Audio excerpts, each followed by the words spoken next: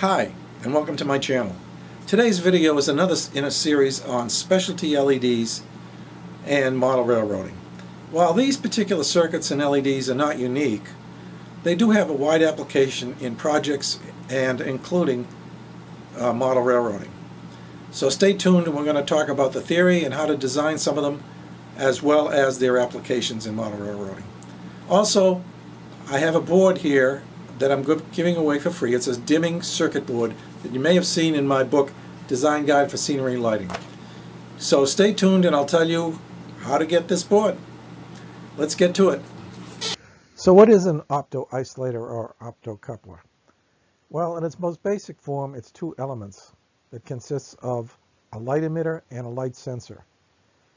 Why do we want to use one of these? Well, in a lot of cases, we want to isolate two different circuits.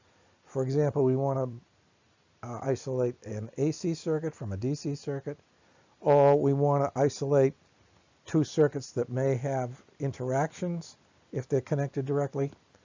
Uh, another reason is that we can do detection of items if we have a discrete optoisolator like the one shown here when the light is interrupted. And that's particularly advantageous in model railroading. So this table talks about the different types of optocouplers or optoisolators. And they're dependent upon the type of light source that's involved, shown in this column, which can be anything from incandescent neon bulbs to infrared or visible LEDs or stacks of uh, infrared LEDs. And the light source, light sensor types can be anything from photoresistors, which are simply resistors that change their resistance based on the light, photodiodes, phototransistors, and SCRs and triacs. So there's a whole variety here, and the speed will be determined by the technology that's used. And this, this column shows the type of speeds that are available with the different type combinations of light sources and sensor types. We also uh, have the ability to look at the current transfer ratio. We're going to talk about that uh, in the next slide. We're also going to focus here primarily on the bipolar silicon phototransistor and a uh, infrared LED for this for the purposes of this discussion. So what is the current transfer ratio? Well, it's pretty simple. It's basically the output divided by the input, which means the output collector current you can get, or IC, divided by the forward current, the input forward current, times 100. So basically, you measure the current going through the, the LED, uh, and you measure the current going through the transistor, in this case a phototransistor. As the light falls on the transistor face, or the base of the transistor, the transistor will conduct to some degree, and there will be collector current. So the ratio between the two, times 100, is the percentage of amount of current that we talk about as the current transfer ratio. Here's a couple of pictures of uh, optoisolators. The top one is a very early version that uh, has a basically a black box around an LED and a phototransistor. On the bottom is more consistent with what we have today in modern packaging. You could have an LED on top of a green detector, such as this uh, package here, or you could have an LED um, on the same plane as a um, phototransistor in this case. The optocoupler we're going to focus on today is the LTV847. It's a four-channel type integrated circuit. They also make a 827 two-channel and a one-channel 817. There's four separate optocouplers in the 16-pin plastic dip package. The outputs are shown here. They're phototransistors. The inputs are shown here. The cost of this chip is anywhere between 50, 50 cents and $1.35. And as far as the CTRs that we talked about, the current transfer ratios, you can get them with a little bit more specificity if you specify a particular suffix. Uh, the 847A has a different uh, set of CTRs as opposed to the 847H. The two charts we want to look at when designing a optocoupler circuit are these two. The first is input absolute maximum ratings. This is for the, the diode or the emitter. We're talking about here in the shaded areas forward current, reverse voltage, and power dissipation. The forward current can't exceed 50 milliamps. The reverse voltage, if you're uh, providing an AC voltage to it or, or reverse voltage, cannot exceed 6 volts. And the power dissipation for the input emitter or diode cannot exceed 70 milliamps. There's other thermal uh, considerations here and peak forward current, but we're not going to worry about those for now. The second chart is what typically the characteristics of the input diode or emitter would be. In this case, for the input diode, a typical uh, voltage drop is 1.2 volts. The maximum is 1.4 volts at a forward current through the diode of 20 mils. And the reverse current is 10 microamps typically.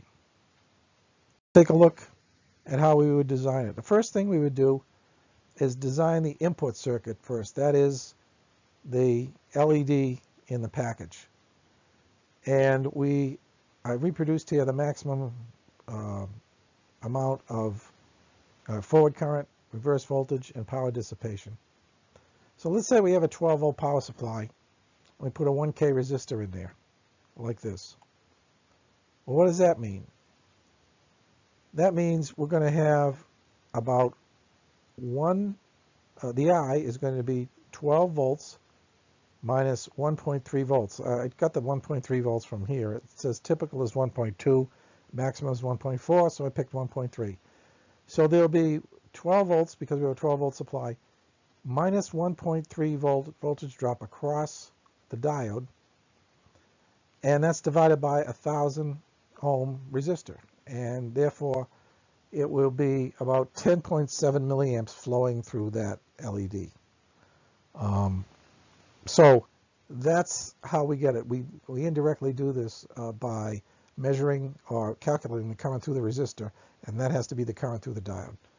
So once again, it's just 12 volts minus the drop across the diode, which is 1.3, which gives us, uh, uh, and divide that by actually 10.7 volts, and divide that by 1,000 ohms, and we get 10.7 milliamps.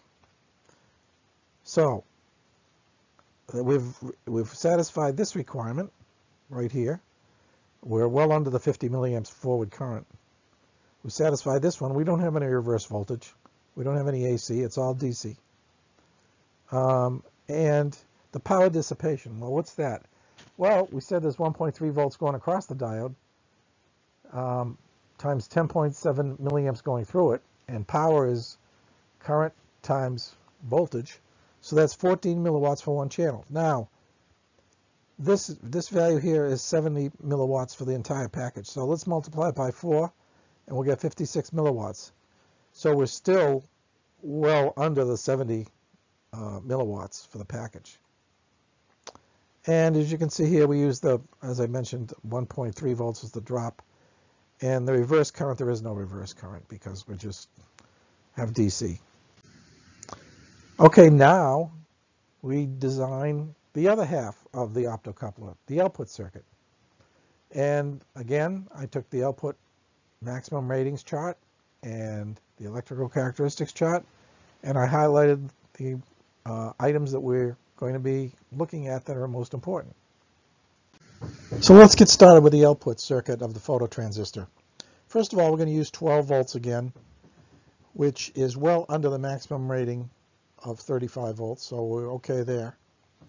The reverse voltage or emitter collector voltage has to be a maximum of 6 volts. Well, we don't have any reverse voltage and we're not using AC, we're just using straight DC, so we're, we're okay there.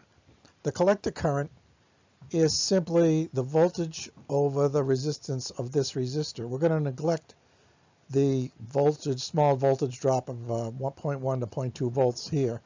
So we're just going to uh, assume that uh, th this is a uh, short circuit or zero ohms. So the current electric current will be 12 volts over 2000 ohms or 6 milliamps. Well, the maximum is 50 milliamps. Now the collector power dissipation is uh, simply the 0.2 volts across the transistor times 6 milliamps, which is 1.2 milliwatts. And that uh, times 4 in a package is 4.8 milliwatts. So we're all set there. And the total power dissipation is 56 from our calculations for the input before, plus the 4.8 we have here, which is a total of about 60.8 milliwatts. Well, the total power dissipation maximum is 200, so we're fine there.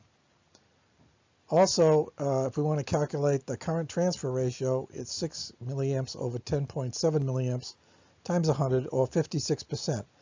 The transfer ratio is minimum 50 and a maximum of 600, so we're in good shape there as well. So this is an interesting chart in the data sheet. It displays how good a transistor, a phototransistor in this case, is as a switch. Now a perfect switch would have zero ohms resistance and would have zero volts across it when it's closed. But a transistor switch is a little bit different. And the phototransistor here shows that the VCE sat, or the voltage across the transistor uh, on this axis, and we want it to be obviously as low as possible. Um, but it shows this voltage versus the collector current on these curves and the forward current, the IF, for the LED that we have uh, in the package.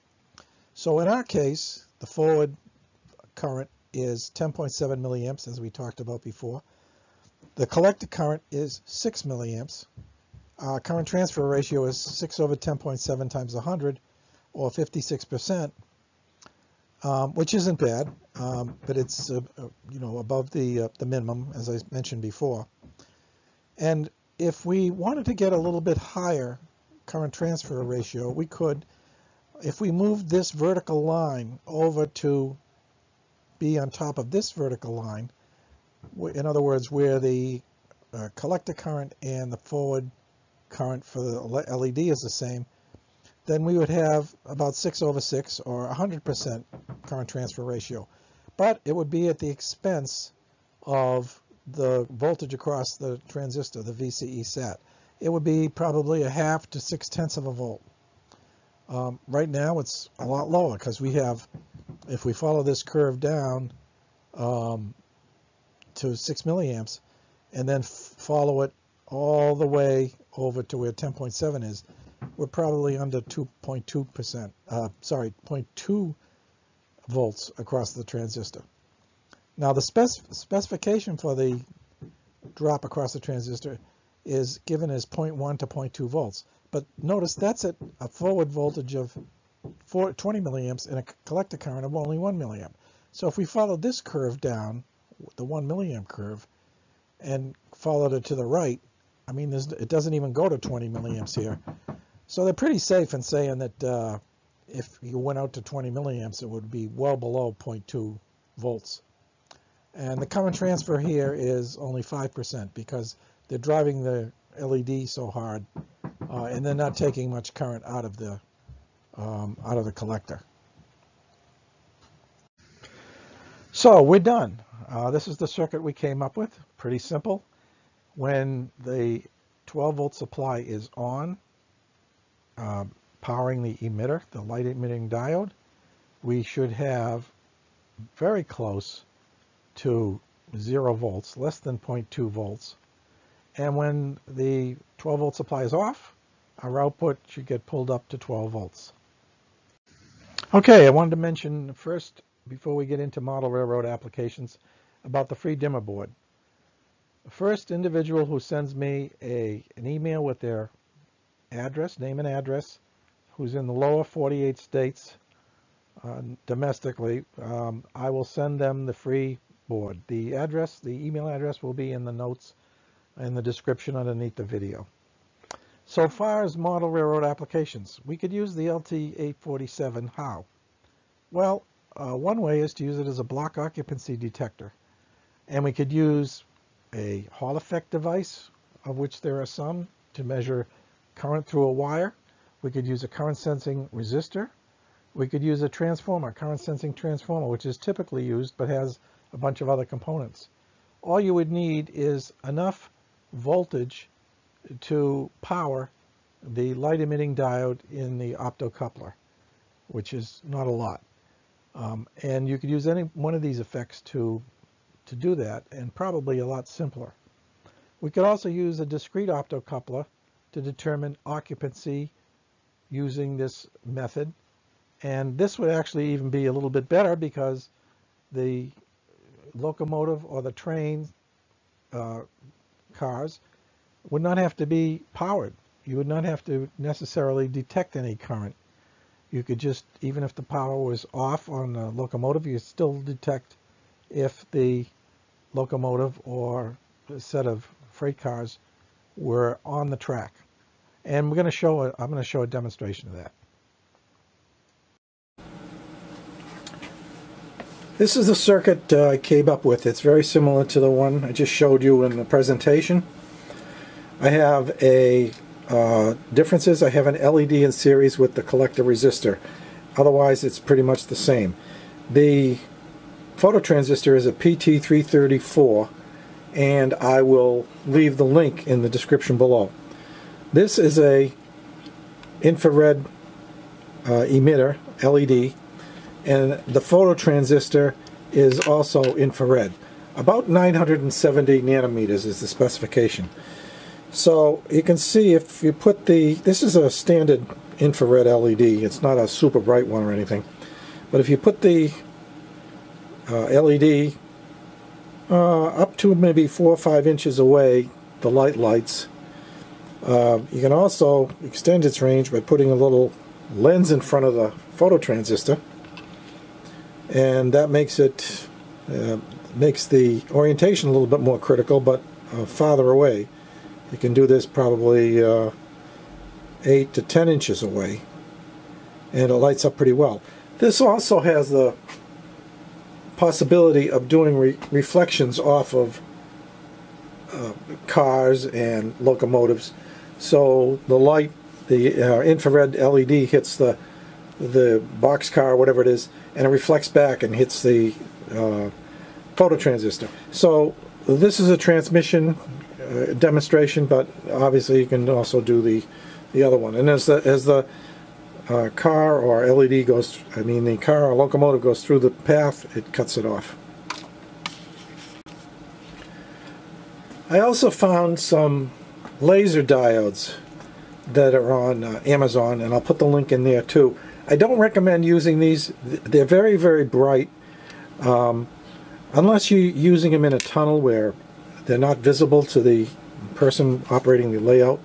But uh, you can I'm, I'm about uh, two, uh, maybe a foot and a half, two feet away with this, and you can see uh, it's got a lot of light. Now, the interesting thing about this is that this isn't even infrared. This puts out so much light in the visible spectrum, around 650 nanometers, that it uh, just overpowers the phototransistor, and it's strong enough to, to light the light. Um, the actual unit, you can see here, is about uh, it's about a half an inch long and about a quarter of an inch wide. So it's it's pretty small. And I got a bunch of these. I got uh, just for some experiments I got 10 of them for $3.50 so they're about 35 cents a piece. Again I wouldn't recommend this. I would use the uh, LED that I just showed you or a super bright infrared LED uh, unless this is in a yard underneath the layout or in a tunnel where you're not going to see it. Um, so that's my that's the demonstration. Um, if you have any questions, let me know. I appreciate it if you got some value out of this to please like and subscribe. And thanks for watching.